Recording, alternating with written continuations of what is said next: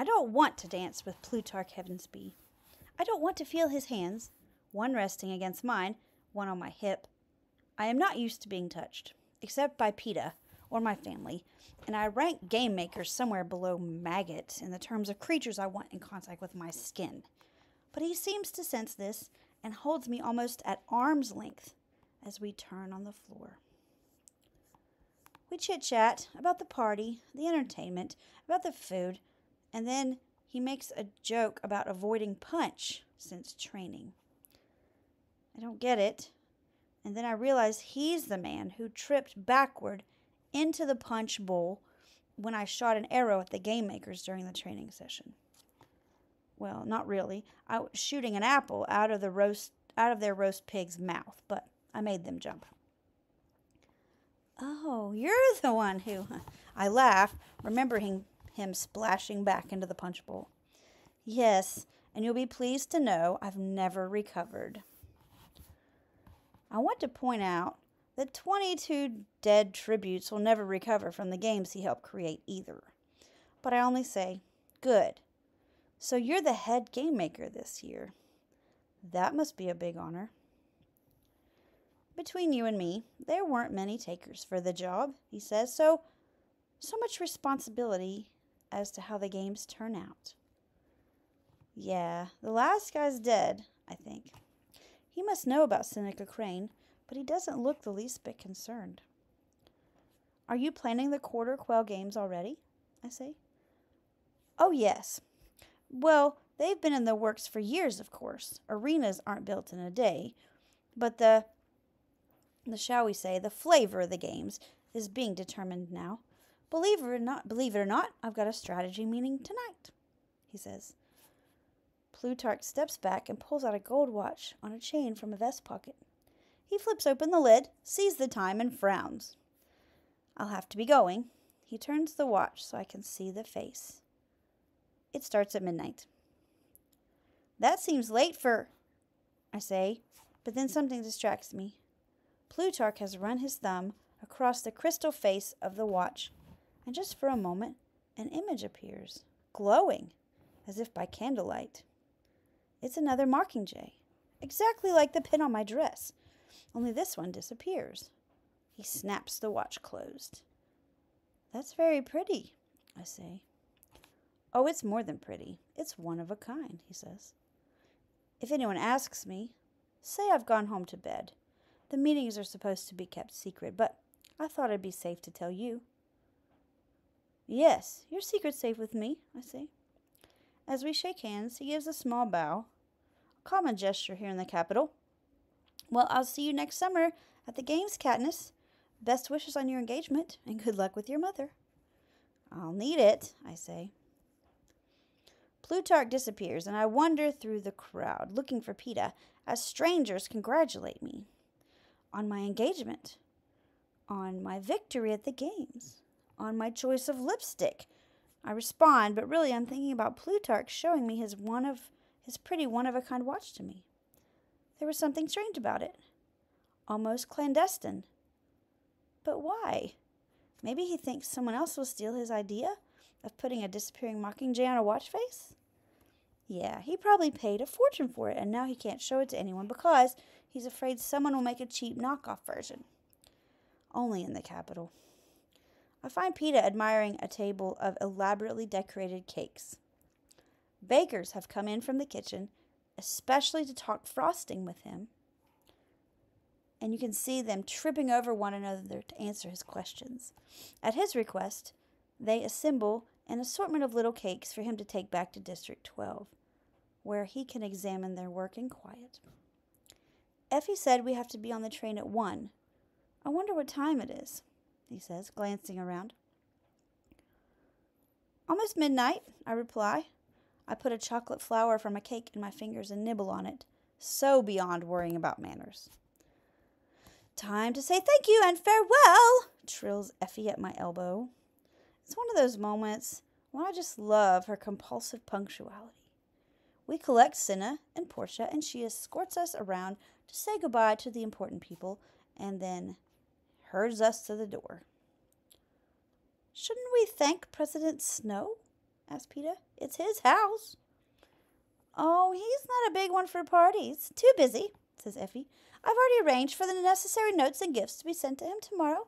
There you are. Effie gives a little wave to two Capitol attendants who have an inebriated Haymitch propped up between them. We travel through the streets of the Capitol with a car, in a car with darkened windows. Behind us, another car brings the prep teams. The throngs of people celebrating are so thick that it's slow going. But Effie has this all down to a science, and at exactly one o'clock, we are back on the train and it's pulling out of the station.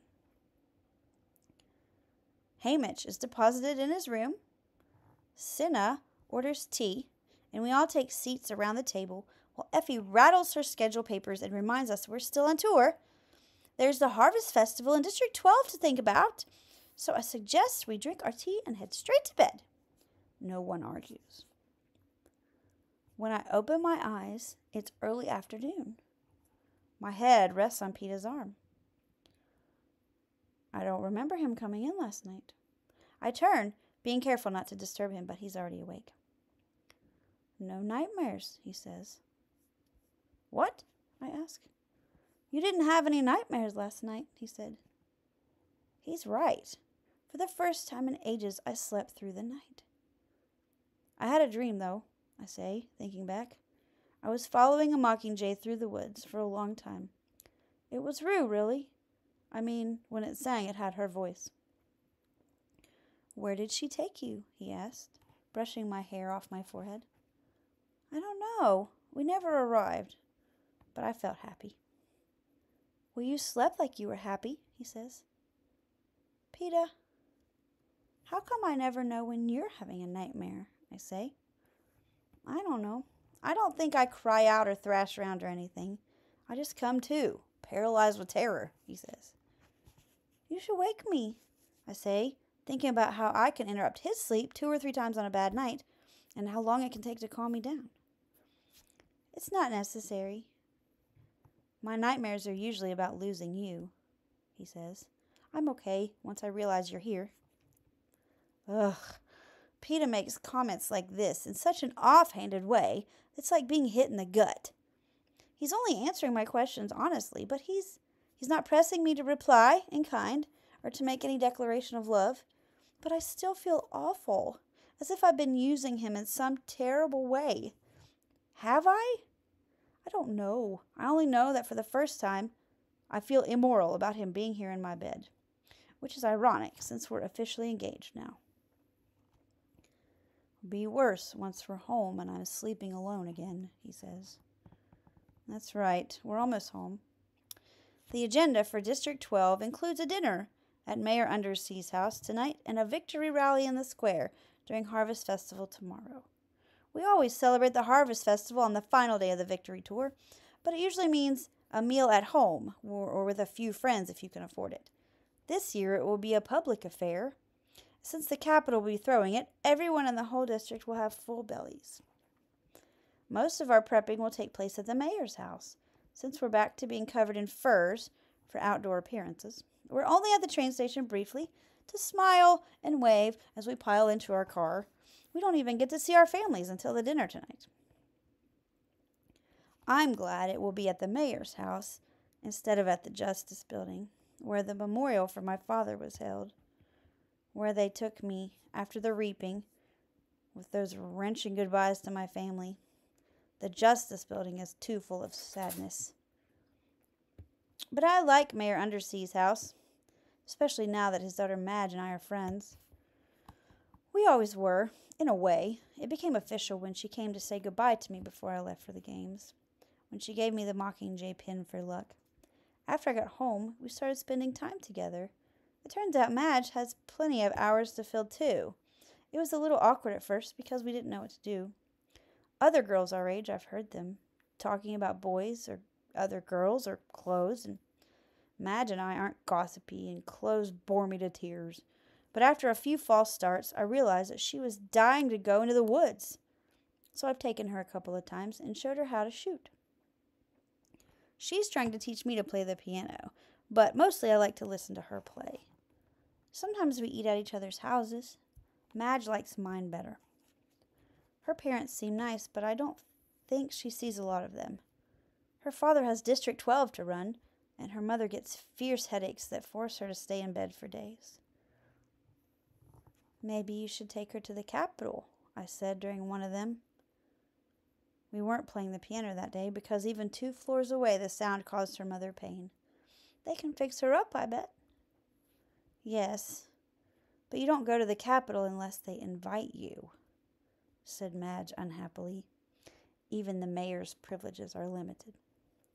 When we reach the mayor's house, I only have time to give Madge a quick hug before Effie hustles me off to the third floor to get ready. After I'm prepped and dressed in a full length silver gown,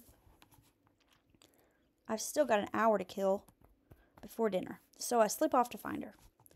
Madge's, Madge's bedroom is on the second floor, along with several guest rooms and her father's study.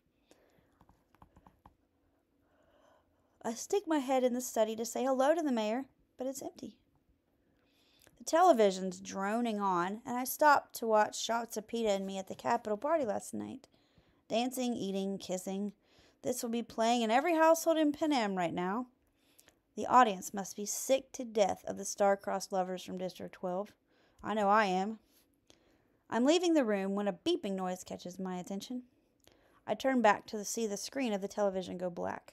Then the words Update on District 8 start flashing.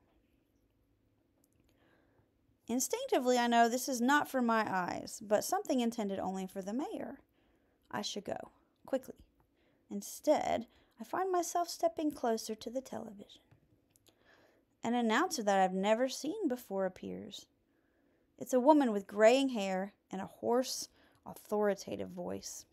She warns that conditions are worsening and a level 3 alert has been called. Additional forces are being sent to District 8 and all textile production has ceased. They cut away from the woman to the main square at District 8. I recognize it because I was there only last week. There are still banners with my face waving from the rooftops. But below them, there's a mob scene. The square is packed with screaming people, their faces hidden with rags and homemade masks, throwing bricks. Buildings burn. Peacekeepers shoot into the crowd, killing at random. I've never seen anything like it. It can only I can only be witnessing one thing.